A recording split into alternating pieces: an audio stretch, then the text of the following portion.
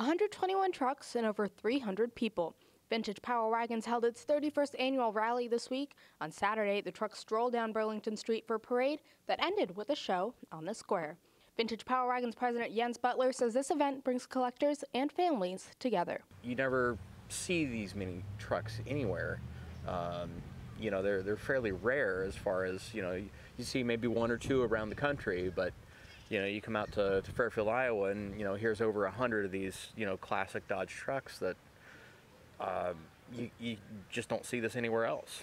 The antique vehicles in Fairfield this week have come from all across the country, but Butler's is from here in Fairfield. It's a World War II car from 1942. He says it was built from scraps and resembles his grandfather's unit. Uh, it's pretty special to me, uh, but there's, you know, th- these trucks are special to absolutely everybody out here. Yet, despite their age, Jens' father Dave says these vehicles are in mint condition. These trucks over here that you see were virtually unchanged for 33 years. So, so they're they almost look identical from a, a 40, 1945 production model to a 1968.